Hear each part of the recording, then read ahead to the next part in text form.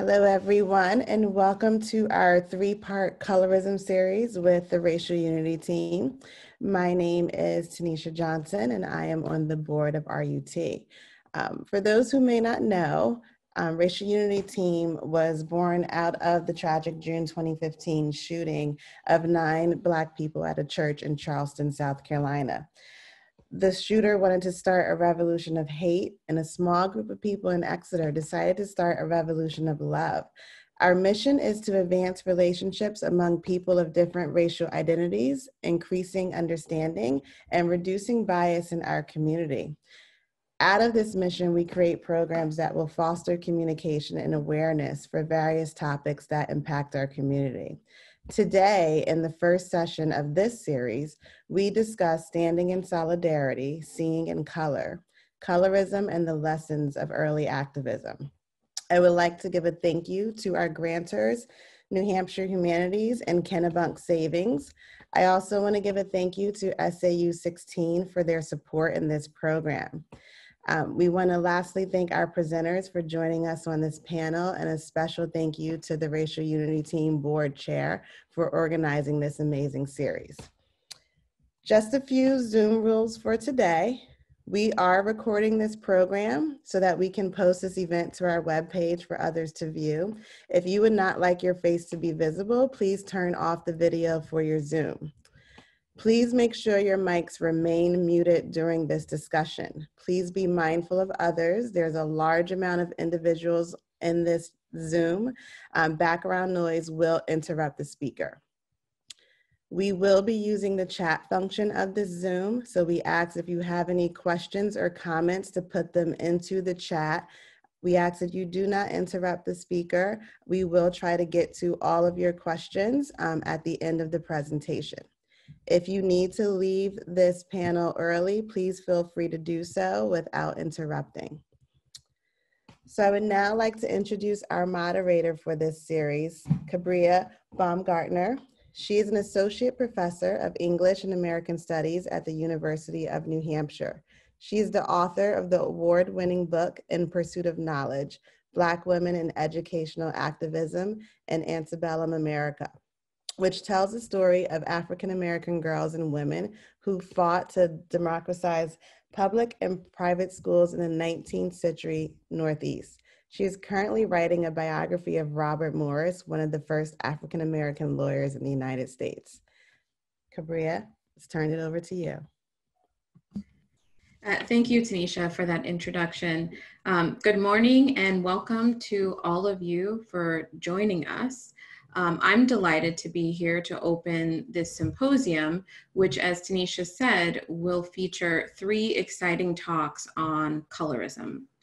Before I introduce Professor Bell, I first want to provide us with a working definition of colorism to frame Professor Bell's talk and subsequent ones. And I'll also type the definition in the chat so we can refer back to it. And then second, I would like us to think about how colorism relates to racism. So two Black women have given us a wonderful starting point for uh, these definitions. First is um, African-American novelist and activist Alice Walker.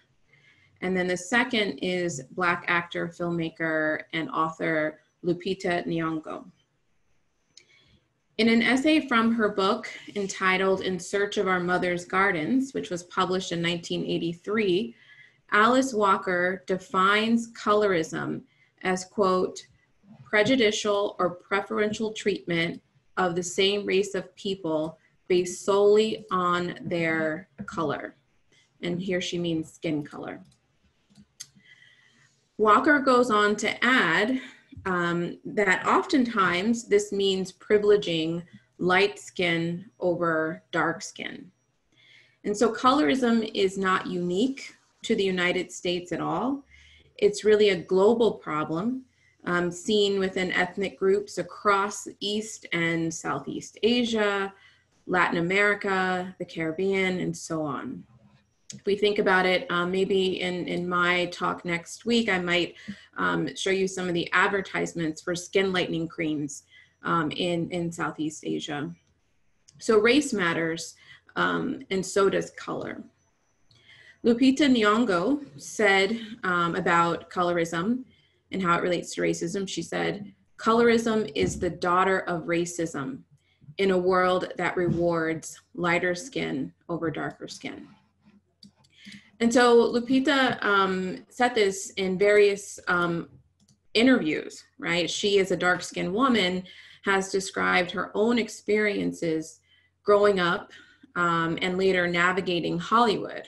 Um, and I believe she's from Kenya and she grew up part, part of, um, of her childhood in, in Mexico. So she talks about that experience, but also then what it means to be a dark skinned woman in Hollywood, right? Um, fighting for roles. And that inspired her to write the children's book, Sulwe, about a dark skinned girl who learns to love herself. Um, and so that's one of the books that I highly recommend that we read to our children. So let's keep these remarks in mind from Walker and Nyong'o as we listen to Professor John Frederick Bell's talk this morning. Professor Bell is an assistant professor of history at Assumption University in Worcester, Massachusetts. Previously, he was a Spencer Dissertation Fellow at the National Academy of Education, a Kilachand postdoctoral fellow at Boston University, and a visiting lecturer at Brown University. He received his PhD in American Studies from Harvard University in 2017. Prior to pursuing graduate study, he worked as a declassification analyst at the National Archives and as a high school social studies teacher. His research examines the intersecting histories of race, education, and social reform in 19th century America. His scholarly articles and reviews have appeared in the Journal of the Early Republic, the History of Education Quarterly, the Journal of the Civil War Era, among others. His forthcoming book is entitled The Abolitionist Colleges Dreams of Racial Equality Deferred, and that will be published by Louisiana State University Press. So please join me in a virtual round of applause to welcome Professor Bell.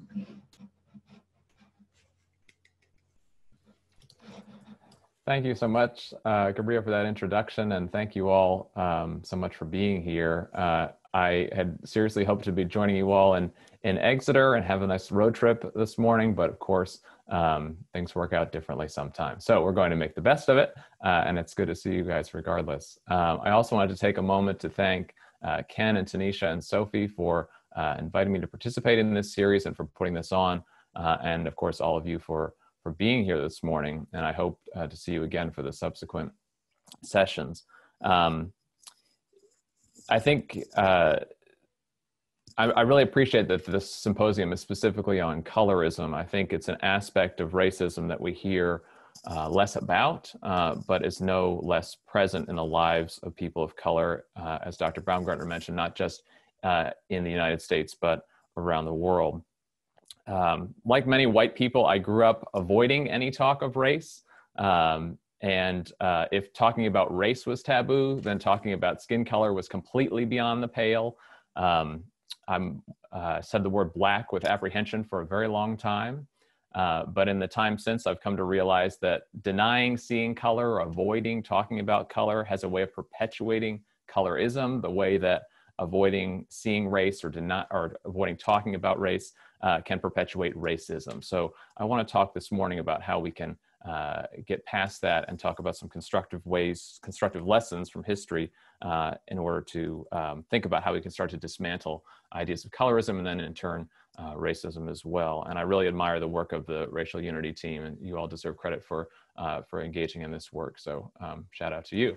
I'm going to share my screen uh, and uh, walk you through a little PowerPoint as we, as we do this. So if you'll bear with me for one moment. Okay, hope you can all see that.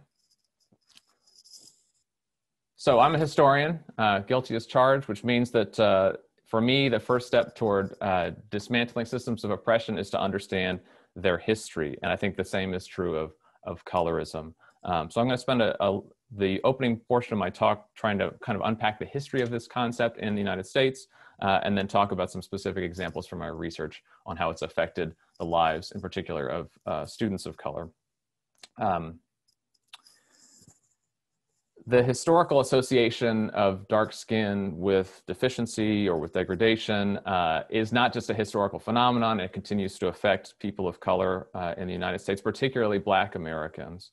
Uh, today, Black men with darker skin are more likely to be victims of police violence than Black men with lighter skin. We know that uh, juries are more likely to convict Black defendants with darker skin, that African Americans with darker skin are less likely to hold elected office, than African Americans with lighter skin, and that Black children with darker skin are more likely to be disciplined in school than their counterparts. And by the way, the same is true of uh, brown children with darker skin. So, why this uh, special prejudice against complexion? Where did colorism come from? I think many of us are familiar with the one drop rule. Um, so, this is the colonial era concept uh, that created a caste division between uh, black and white. Um, this term caste has been used most recently in a book by, um, um, oh my gosh, now I'm blanking on her name. Uh, uh, an author wrote a recent book about caste, which actually talks about race as a caste system in the United States. I think it's helpful to think about it uh, in those terms. So the one drop rule created this caste division between black and white, a color line uh, in order to make as many people as possible eligible for enslavement and for subjugation. Um, that uh, color line was important, but at the same time, there was a color spectrum in effect. And this is the part that we talk less about, but is, uh, I think, no less important. So uh, people's place on the color spectrum could influence their experience of enslavement, uh, and it could also influence uh, free black people's lives in key ways. So I wanted to take a moment and talk about that to start. Um, enslaved people with lighter skin were considered more capable because of their white ancestry. So uh, this meant that they were more eligible for things like housework, sometimes even for literacy, uh, although that became uh, made illegal after after a time. Lighter skinned women were also uh, sometimes subject to sex slavery. This is called a fancy maid trade. So it's one of the um, one of the darker uh, aspects of an already uh, dark and demonic institution was um, this trade in um, sexual slavery, which uh, which light skinned women were made a part of. Um, darker skinned enslaved people were more likely to be relegated to field work. Um, supposedly, their purer African ancestry made them better suited to hard labor in the eyes of so many slaveholders. So this was a, an important phenomenon uh, amongst uh, well, within the, the institution of slavery, and it was a, a daily reality for enslaved people uh, that their skin color would govern uh, their treatment. Um, but this was also a persistent reality amongst free people of color um, in the North. Um, those with lighter skin, studies have shown, experienced greater economic mobility in the antebellum period, higher occupational status, uh, higher uh, educational attainment than free African Americans with darker skin. Now, black abolitionists and reformers, uh, of course, they were committed to ending slavery, but they also wanted to undo the, the mental association in white people's minds of dark skin with deficiency or the association of dark skin with degradation.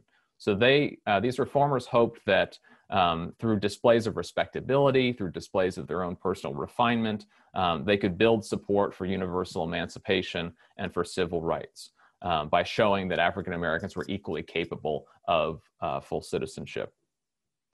Education was a key aspect in this movement for respectability. Uh, academic achievement was believed to show uh, how the ways in which complexion did not constrain uh, Black people's potential. And uh, if you want a great a book on this, I would highly recommend Dr. Baumgartner's book, uh, excellent study of, um, of Black women in particular and their pursuits of knowledge. Now, uh, when whites joined the cause of immediate abolition in the 1830s, um, some began founding interracial schools uh, in an effort to uh, promote this idea of Black advancement while also showcasing the possibilities of racial pluralism. And I wanted to take a moment and uh, note that one of these schools was in New Hampshire, where many of you are this morning. Uh, so uh, the Noyes Academy, short-lived Noyes Academy in Canaan, New Hampshire, near Hanover, uh, was one of these integrated institutions, and we can talk about its history in the Q&A if you're interested. Um, here's a painting depicting its demolition. Um, so the goal of these institutions, as I said, was to promote ideas of racial pluralism. Uh, and in order to promote those ideas, and in order to try to undo, like I said, this, this association of dark skin with deficiency, these school leaders had a way of uh, invoking diversity of color as well as diversity of race amongst their students. So the idea was that a broad array of skin tones uh, amongst the student body would um, signal the progress, the progress that these institutions were making toward eradicating social hierarchies based on color. And since colorism occupied, uh, or sorry, operated on a sliding scale, the achievements of darker skinned students were considered to be especially effective rebuttals to colorism. Now, there was a problem with this, uh, this line of argument and it became apparent um, pretty quickly, and that was that using color as a counter argument to prejudice could sometimes be counterproductive.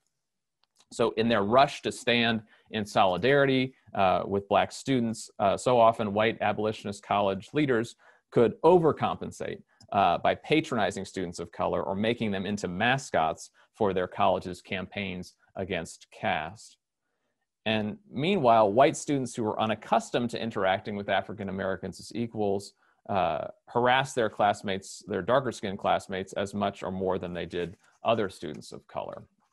So, uh, as a historian, I was interested in learning more about the experiences, in particular, of these uh, darker skinned Black students at abolitionist colleges. And in a recent article, I look at uh, those experiences at two institutions, uh, one which may be a familiar name to folks, uh, Oberlin College in Ohio, um, another at a defunct uh, college in upstate New York. It was called New York Central College near uh, Cortland, New York. And what I found in this research was that um, students with ebony skin were, uh, you might say, a double minority on campus. This meant that, well, first of all, the vast majority of their classmates at both institutions were white. And then of the students of color, who made up somewhere between 2 and 10 percent of the student body. Most were light skinned. Most of the students of color who attended these abolitionist colleges uh, were either the children of free Northerners or, in fact, uh, the children of white slaveholders who sent them north to be uh, free and educated. So, having darker skin at an institution like this made these students especially vulnerable to harassment, uh, both on campus and off campus. So, for instance, they were met with racial slurs aimed specifically at their color. Uh, so the repeated use, for instance, of the epithet darky to describe, um, to describe them. Uh, one of the students that I studied was uh, suspected of being a runaway slave simply because of his dark skin, uh, even though he was a free person.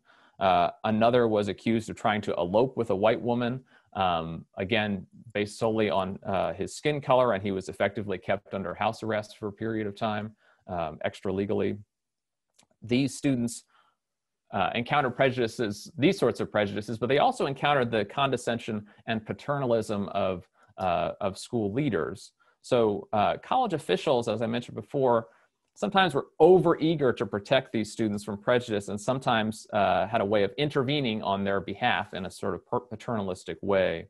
So just as a for instance, uh, Oberlin's president uh, interrupted a program of speeches in which one of these students, a student named Sabram, was speaking in order to vouch for the character, in order to vouch for this student's character, as though to say, this, this guy is, uh, is well suited to be speaking to you today. He's a, uh, a young man of, of great character and deportment. Um, that even at the time, people said, well, shouldn't you let him speak for himself? It's a bit unnecessary for you to interject like this. I think he's doing a good enough job on his own. Uh, but this was a tendency amongst uh, white uh, abolitionists, this kind of knee jerk reaction or tendency to overcompensate in this way.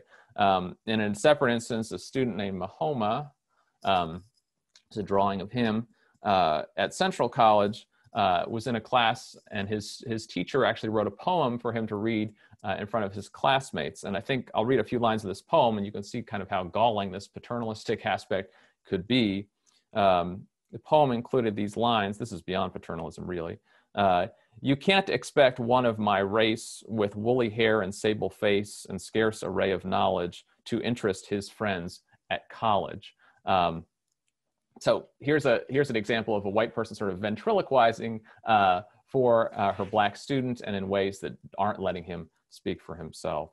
So these incidents, even though the institutions themselves were committed to ending colorism and racism, these incidents had a way of reinforcing that same phenomenon by uh, reinforcing the association between dark skin and some kind of deficiency or inadequacy, um, suggesting these black students could not somehow speak for themselves.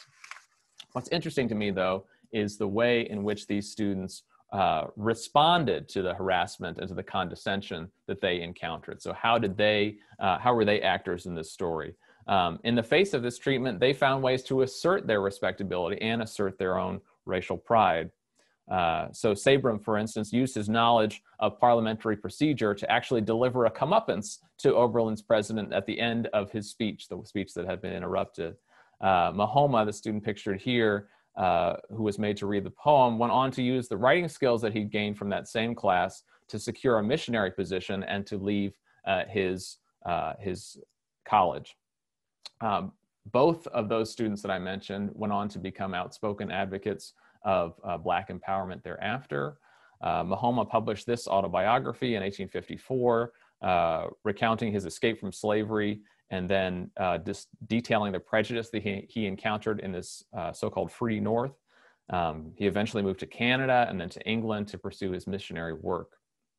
Sabram, the other student I mentioned, became the, one of the uh, Oberlin Black community's representatives at national African American political conventions, and he was even elected to local office in Oberlin after the Civil War. So uh, these two men's stories, I think, show us the ways in which deep-seated bias against blackness itself made it hard or harder for darker skinned African Americans to gain the respect that they deserve. Um, but when we think about how to apply their life histories to tackle the problem of colorism today, I think what's most notable is the way that they use pride to challenge bigotry. So in order to disrupt these associations of inferiority uh, with dark skin and to challenge the logic of colorism, uh, they reclaim the greatness of blackness itself. So they, they're challenging uh, the sort of central, uh, central argument of colorism by reclaiming that, uh, that idea. Um, I think we are all familiar with this slogan, uh, made popular in the 1970s, in part by the Black Power movement, in part by the Stephen Biko's anti-apartheid movement, uh, in South Africa. Um, this is actually a, German ad, I think, uh, but the, the sentiment is, is familiar to us. Um, but that same sentiment actually, we associate it with the 1970s, but actually it originates in the 1850s. Uh, so uh, historians trace this, this not ex the exact words, but the idea uh, to a speech by a black abolitionist named uh, John S. Rock, who, uh, like Sabram and Mahommah, had dark skin. Rock was both a dentist and an attorney. Try and beat that. Uh, and he was the first African American uh, admitted to practice before the U.S. Supreme Court before his uh, untimely death in 1866. He gave a speech at Faneuil Hall in 1858, uh, and in this speech, which was in response to the, the Dred Scott decision, which said that African Americans were ineligible for citizenship, uh, Rock uh, expressed his solidarity with, uh, with, his, with his race, but he also took on the issue of colorism directly. And I'd like to read an excerpt of that address. And this is sort of like supposedly the speech that's the origin of this term, or this idea anyway, of Black is Beautiful. Rock said, it's a great speech, by the way. We should read the whole thing, but this is just an excerpt. Uh, the prejudice which some white men have or affect to have against my color gives me no pain. If any man does not fancy my color, that is his business. I shall give myself no trouble because he lacks good taste. If he judges my intellectual capacity to uh, if he judges my intellectual capacity by my color, he certainly cannot expect much profundity, for it is only skin deep, and is really of no, no very great importance to anyone but myself. I would have you understand that I not only love my race, but am pleased with my color. So you can see how he is, uh, he is challenging directly this idea of, uh, of dark skin representing some kind of inadequacy by reclaiming uh, its, uh, its beauty and taking pride uh, in that, in his own color as well as in his race. So I think uh, Rock's words and along with the lessons, the examples of students that I mentioned like Mahommah and Sabram, these stories I think offer lessons in the fight against colorism today. Um, you know, I think advocates of racial justice and racial unity, like this organization, um, all of us involved in this work, need to find ways of celebrating Blackness without patronizing Black people. No one should be uh, made to compensate for the skin color that God gave them uh, or to apologize for it, let alone suffer for it. We can discuss many strategies, perhaps in the Q&A, for dismantling color prejudice from expanding opportunity to improving representation to increasing dialogue. But I think for these approaches to work, history shows us that Black people must be empowered to fully participate and to lead.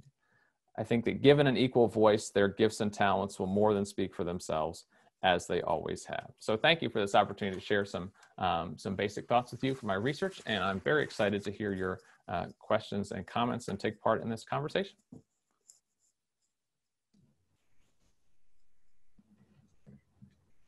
Wonderful. Thank you so much, John, for that compelling presentation and really for historicizing for us where some of these ideas um, originated. I know that we might have questions about uh, the one drop rule. There might be questions um, about Oberlin College and, and some of those darker skinned students who, who attended. Um, so I do have a few questions, but I'll hold off for now um, to see if there are questions that pop into the chat.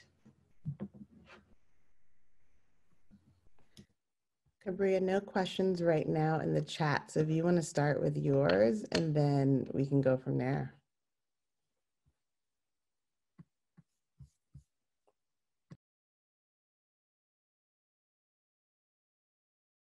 Okay.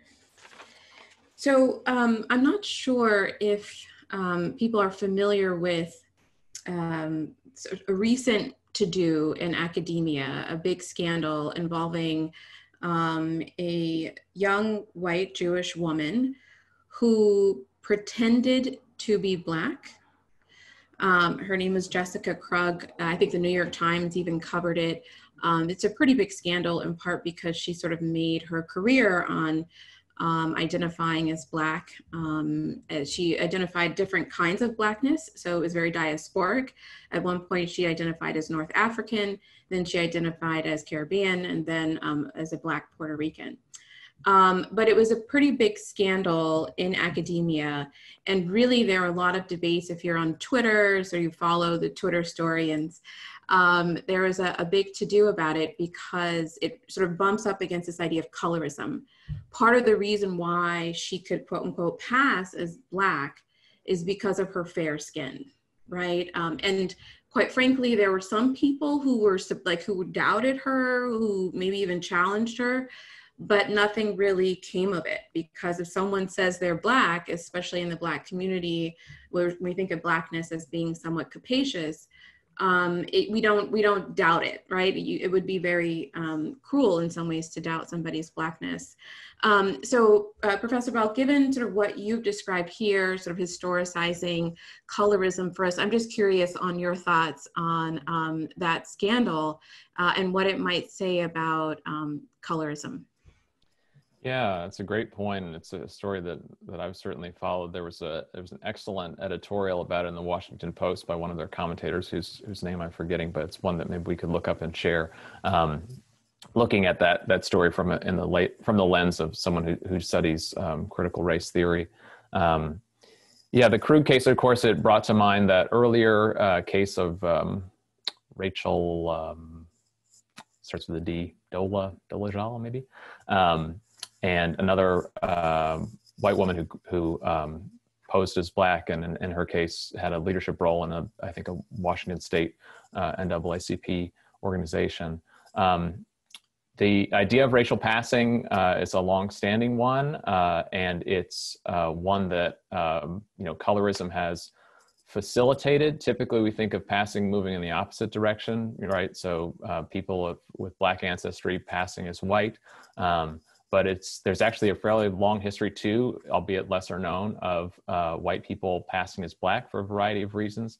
Um, the uh, this particular case um, suggests that uh, that there is a um, well, it, it, I think it brings to light the most pernicious aspect of colorism, which are these uh, if if the color line, like I mentioned before, that separates black and white creates privileges for uh, people of white ancestry, then this colorism aspect creates uh, another set of privileges for lighter skinned people. And Krug's choice um, was taking advantage, I think, of both of those things. So it's been described as an act of whiteness or even white supremacy, and that's also playing on uh, the advantages, um, sadly, that that lighter skinned um, people of color could have.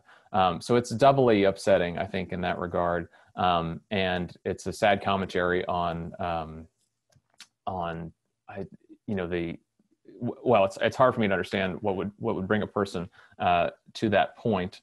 Um, but I think that the, um, it's, in essence, it's a, it's a, um, it's a perversion of empathy, I think. Uh, so there is, I think people, of different racial backgrounds, and it seems to be a premise of this organization, have the capacity to, to sympathize and empathize with uh, people who have lived different lives than themselves. And that's an important part of living in a pluralistic society. I think it's a vital part of living in a pluralistic society uh, and doing the work of, of racial unity and racial justice. But, um, but to go to that extent suggests that uh, that's not really about empathy anymore. It's, it's more about um, uh, about appropriation, which is uh, which is something that um, that's that's uh, kind of contrary to I think to the to the values that uh, of racial pluralism. So um, that's uh, yeah, I think there's going to be more to be said about this. Probably more to be written about her case too. But it is a reminder that these factors and these forces are still very much present. Right. I think that, yeah, that last point I, I really want to echo. Um, so we, we have to realize that colorism is something, right, that is part and parcel of um, not just the United States, but other countries, but we see it play out in these kinds of incidents. Um, and that there's actually real harm that's done, um, in part because Jessica, as a particular individual, um, was really combative um, when interacting with Black people. Um, and so she was, you know, she was kind of pretty radical in, in some of her views, um, which is fine. But other Black people with, with whom she met and talked to, she would um, call them out for not being as radical as, as she was. Um, and so there are, you know, these are some of the, the issues that come up when we think about um, colorism, right? It's not something that just um, is part of the part of the past. Um, I see there are some questions in the chat, so I will let um, uh, Tanisha ask. So the first question was, where can we get John Rock's full speech? Do we have a link that maybe we can post? I'd be happy to look one up. Yep. Uh, the speech is called "I Will Sink or Swim," so you could uh, we, you could Google it if you're quicker with the Googling than I am. Uh, but um, I can also look it up as well. I know it's available for sure. Thank you. 1858. yep. Second question Why, if people were promoting the intrinsic value of people with dark skin, why do we still have this problem today?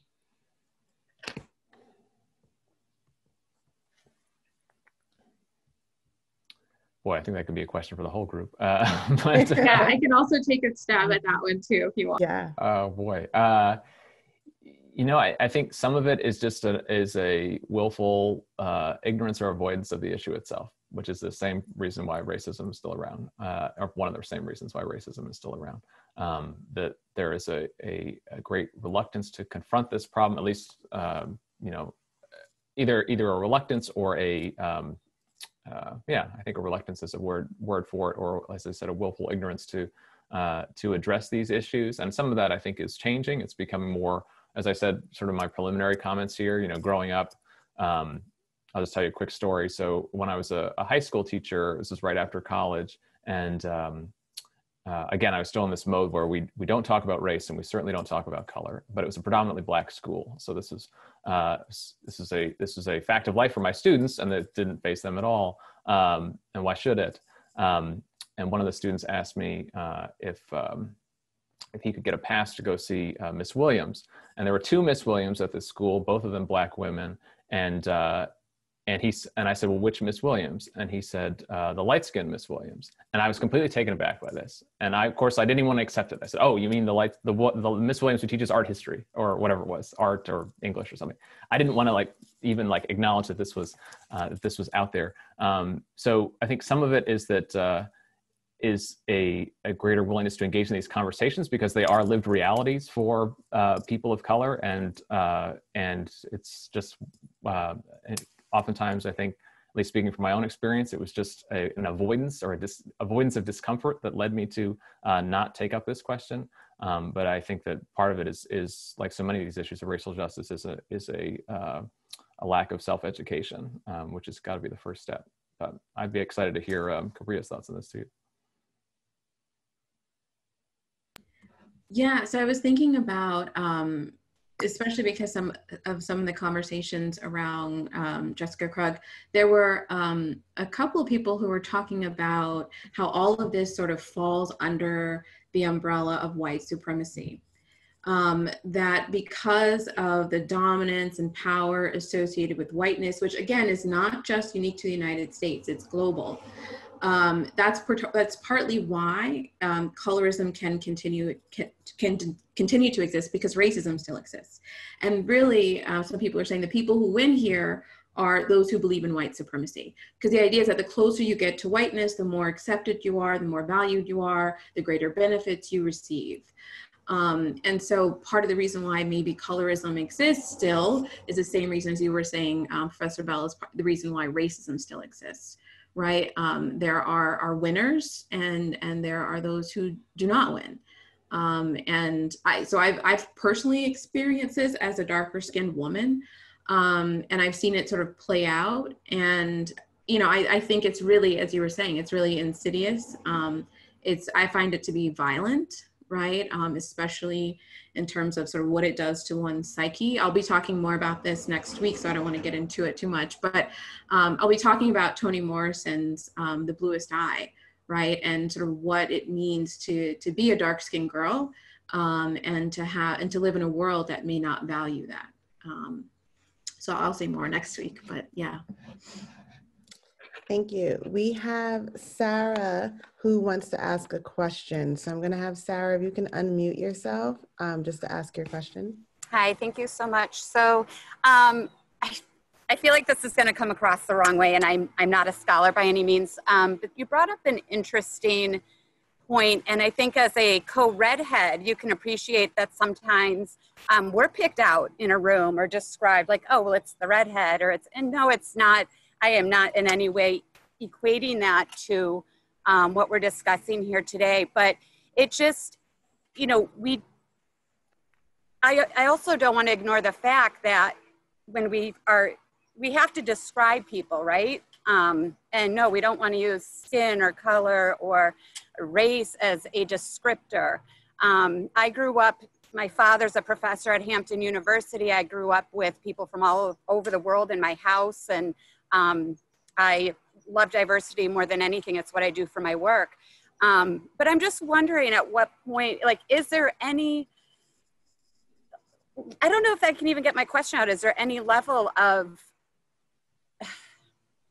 I don't want to say acceptance, but I, I, I don't think I can even ask the question, but I think you can understand what I'm trying to say is that we do use what we see as ways to describe people, whether it's long hair, glasses, um, the buck teeth, the, you know, whatever.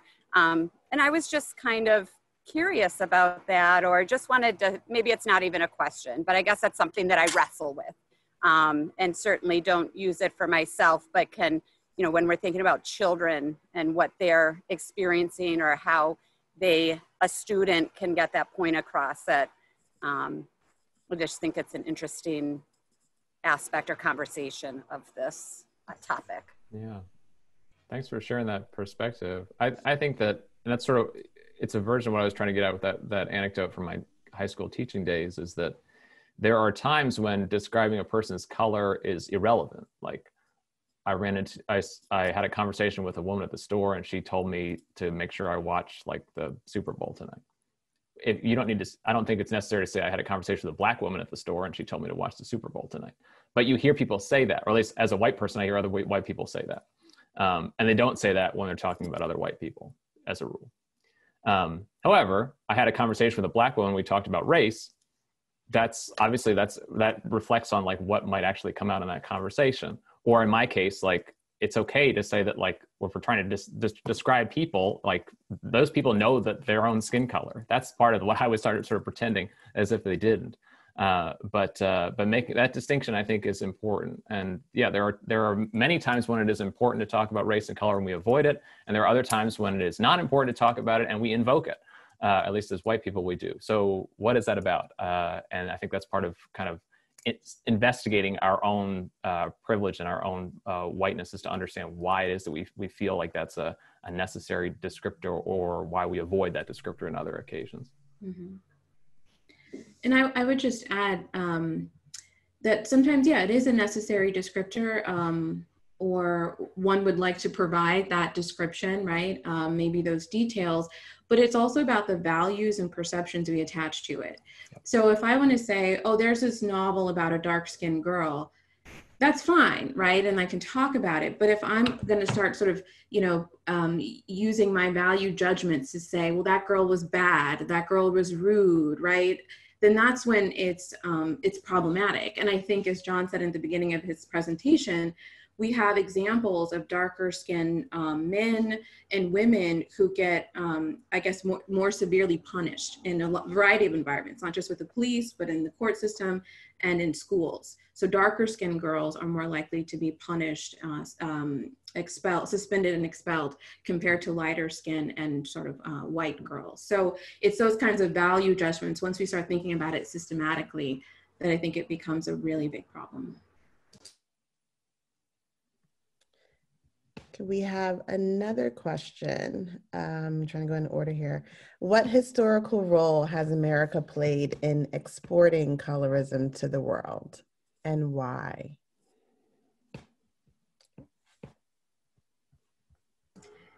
The question is, I think, do we believe that America exported it or Ooh, is it, I, I, don't know, what do you think, Professor? Uh, well, I think you know Dr. Baumgartner mentioned that this is like a is a global phenomenon and appears in different societies. I, I mentioned caste before, um, and uh, the book, book, by the way, I'm trying to think about is by Isabel Wilkerson, who wrote a fantastic book about the Great Migration, also. Um, but her new book is about caste.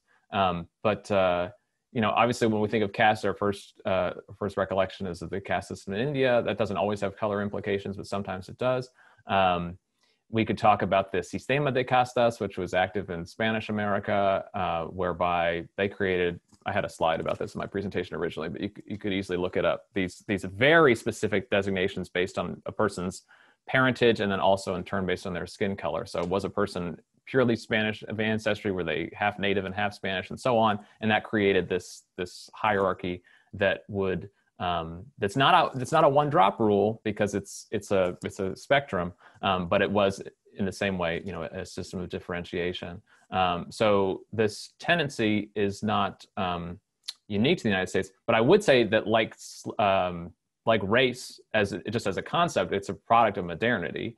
Uh, and a product of the Atlantic Exchange in particular, um, and of just imperialism and colonialism. So it wasn't until I mean, there's not even a notion that there is such a thing as a black person until uh, you know the 17th century, essentially. Um, before that, you know, people belonged to different African tribes, the same way that there wasn't a con- conception of a Native American uh, before other people arrived in this, these continents and this hemisphere. Right? People belong to their own uh, tribes, clans, and so on. So, uh, so this is like a, a the exchange of people's ideas, and then also of uh, violence and um, slavery and things like that, I think creates these this te- tendency to categorize and to uh, to order uh, and to create these hierarchies. And so uh, that might explain the sort of global reach of it. So it's not unique to the United States, although you know in more present context we could talk about you know the the power of the American entertainment industry and the decisions that are made there have global ramifications and have for what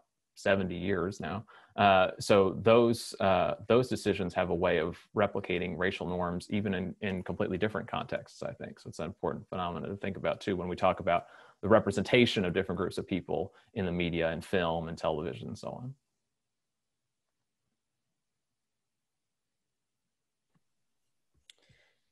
So we have another thought and question is the use of quote unquote darkness to describe biblical sin in the US's dominant faith, Christianity, something that should or can be addressed in this topic.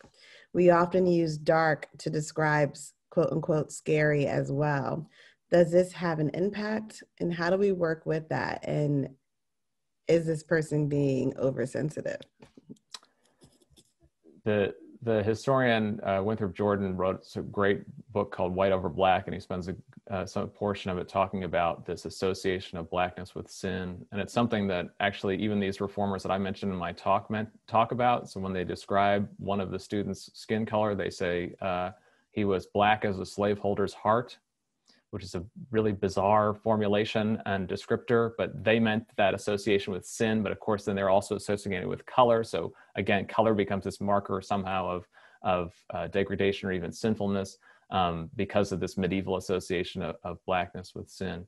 Um, so there's been there's been a lot um, written about it, and um, I'm sure Dr. Baumgartner could could offer some some uh, suggestions for readings and other things on this topic too. Um, but uh, you know, there's there are examples of uh, people with a variety of skin tones in the Bible itself, so we could help undo that. I think of the verse uh, "For the darkness and the light are both alike to you," um, which is a reminder that as I kind of mentioned in the talk there, uh, it's not that, well, this is just speaking from my own religious perspective, I guess. I don't think that it's, God doesn't, uh, uh, I don't think that it's that God doesn't see color. It's that God embraces or embodies all colors.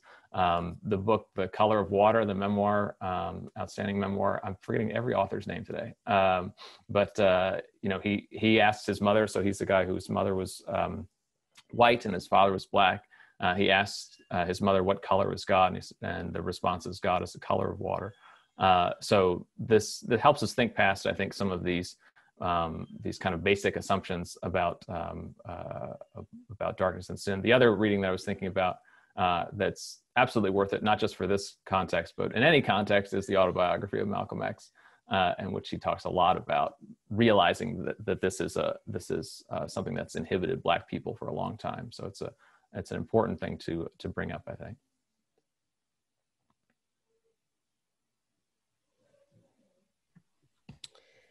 Thank you. We have two similar questions on um, the social experiments with young children and dolls that chose the black doll um, or seen the black doll as bad, ugly, and the white doll as good, as well as the British experiments in the 50s and 60s comparing um, self perceptions of blue eyed children versus brown eyed children.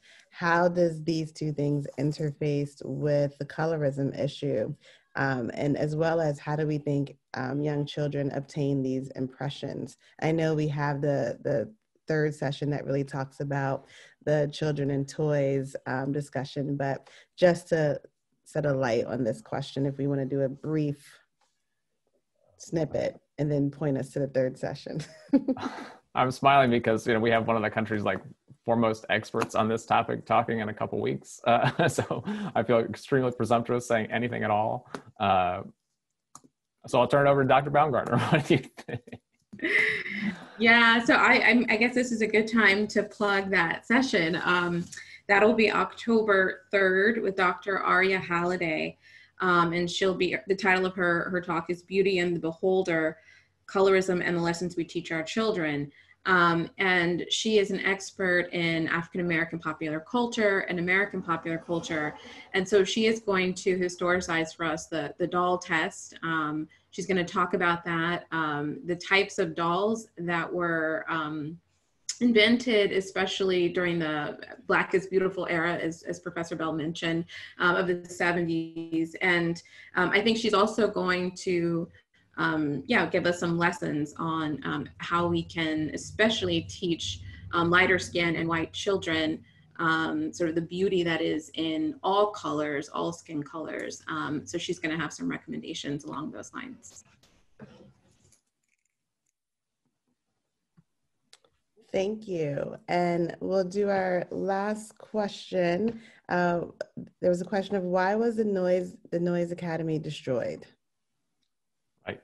Uh, yeah, so as I as I showed in that that uh, painting, um, the the institution encountered almost immediate uh, public disdain and hostility and antagonism uh, because they dared to bring together students of different races on terms of equality. Um, this was seen as a outright threat to white supremacy, and it was something that um, uh, that the local people of Canaan, New Hampshire could not countenance. So they uh, literally tore the school down with all those oxen that you saw tied to the school. I can't remember quite how many, um, but pulled the school off its foundation. Um, so I mean, there's like symbolic and also, um, you know, very literal implications there. But um, it meant that students, uh, you know, these students, uh, partic- I mean, this was a, an integrated school, primarily white students, but the black students who had traveled for long distances to get to Canaan, New Hampshire, which is, um, you know, not that conveniently located, uh, were forced to, to go elsewhere for their education. Some of these students had already been turned away from other institutions. Dr. Baumgartner has written uh, about the um, Canterbury Seminary in, um, uh, in Connecticut, uh, where um, a similar phenomenon happened to a, a, white teacher named Prudence Crandall. Um, so this was something of a phenomenon in, in this period of, uh, of either attempts at creating integrated schools that failed because of local uh, violence, um, or um, you know that schools would get started and then be forced to shut down and people being prosecuted and stuff like that for violating all sorts of things. Dr. Baumgartner could say more for sure about the Canterbury example. Um, the only reason that the institutions that I write about were able to survive, like, um, sorry, my daughter's crying in the background. I don't know if anybody can hear that. Uh, the only reasons that institutions like Oberlin or New York Central could survive uh, was because they were located in these very small and kind of isolated communities. So the Oberlin community was started as, as what they called a colony. So it was made up of like-minded people. Um, but when these kinds of schools tried to start, for instance, in New Haven, Connecticut, a uh, black college was attempted to be started there in, I think, 1833, four.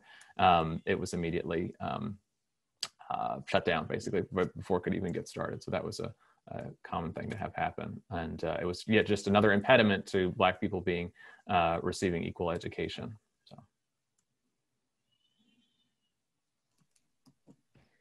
Thank you. Um, I did miss one question in the chat and I apologize. The question was, has South Africa moved past colorism?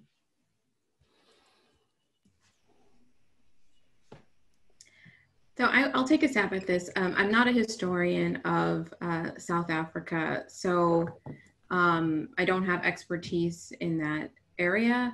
I will say, um, so I traveled to South Africa maybe maybe it's 10 years ago now. Um, and I was very struck by what I saw. Um, to me, there's still very much um, a color caste system in South Africa. Um, those who are lighter skin, uh, just again, this is anecdotal, just my perception and experience at traveling there for a couple of weeks.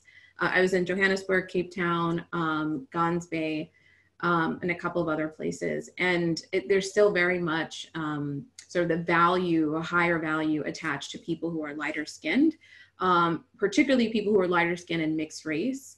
Um, I, I, would say that some of them are um, uh, identifiable. So if we think about advertisements, all that media, uh, Professor Bell mentioned, mentioned this, all that coming at you, it's mostly lighter skinned, um, you know, black people or lighter skinned mixed race people.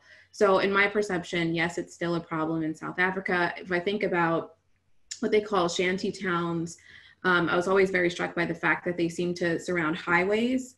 Um, and the the beautiful sprawling properties are owned by white people um, that have that overlook the ocean, right? That overlook water.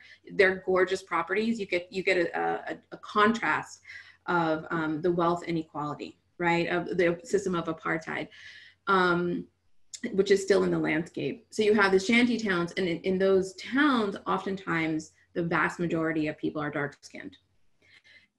So, you know, this is just a perception, I'm not a historian, but this is just what I saw. And I went during World Cup. Um, and so there was an even more concerted effort to show a new South Africa. Um, and I didn't, I didn't see much that was that new. I think this, the, the government is trying to take steps um, to to bring about more racial equity and equality, but it's still a really stark contrast. And I also thought, you know, I said, well, how different is a place like Johannesburg and Cape Town from a place like Detroit or parts of southern, you know, Los Angeles or other, um, you know, big cities? Would we see similar kinds of colorism and racism playing out? And quite frankly, yeah, so I don't want to say like South Africa's by and we're doing such great things in the U.S. You you see it in mapped in the in the cities and the landscape. Um, so I think yeah, there's more work to be done. Um, an interesting comparison we can do between South Africa and the U.S. Thank you. I'm going to turn this over to Sophie to just kind of give us a recap um, and bring it on home. Great, thanks Tanisha. Um, we've learned a lot today, a lot of really awesome information, so I'm going to give kind of a recap. Um, Dr. Baumgartner opened up with some quotes um, from Alice Walker, who defined colorism as prejudicial or preferential treatment of same race people based solely on their skin color. Um, this is a global problem. It's not specific to the US, as we just heard about South Africa. It's kind of everywhere. Um, Lupita Nyong'o has a quote that colorism is the daughter of racism in a world that rewards lighter skin over darker skin. And I'm gonna post a bunch of links here in the chat to books that were mentioned over the course of the chat and links to purchase them if you're interested in doing so. Um, and then we heard from, is it Dr. Bell? I'm gonna say, assuming Dr. Bell, cool. And then we heard from Dr. Bell that um, kind of earlier in his career, he had difficulty talking about racism um, when he was in high school and not and not really seeing race or color is has perpetuated the issue. Um, Dr. Bell is a historian, and his approach to understand the history of colorism is um, his approach is kind of to look at the historical context of colorism in the US. Um, the one drop rule was created to oppress the most number of people possible. And lighter skinned slaves were deemed as more capable, while darker skinned people were deemed as better laborers. In early mixed race schools, darker skinned students were targeted by lighter skinned students. And if teachers or officials interfered, they often did so in paternalistic ways. Um, it really enforced the idea that darker skinned students were inferior or could not speak for themselves. Mahommah, a black student, used his education to write a biography about racism in the North. And in 1958, John S. Rock, who is a dentist and attorney, wrote a speech about feeling proud of his race and that he was pleased with his color. He was reclaiming Black beauty and pride. We still have colorism because there's a reluctance or willful ignorance to confront this problem. It kind of falls under the umbrella of white supremacy, and colorism still exists because racism still exists. And we only use people, oh, we should only use people's skin color when it is relevant to the conversation. Um, white is often the invisible default. So those were just some kind of highlights and snippets that I took from this conversation. I hope you'll all walk away with. Um, I also want to ask folks if you enjoyed this program, please consider supporting Racial Unity Team. A lot of this program was put on with work from volunteers, um, and the Racial Unity Team is a nonprofit, and um, every dollar goes towards creating more programs like this. And it's really important that we have these conversations. So if you enjoy this program, please consider making a 5, 10, 15, $50 donation to Racial Unity Team. Um, and that's just on their main website. You can follow the link and um, donate there.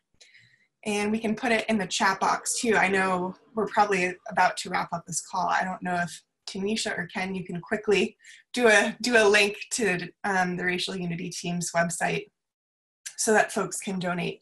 But that would be really incredible. Thank you.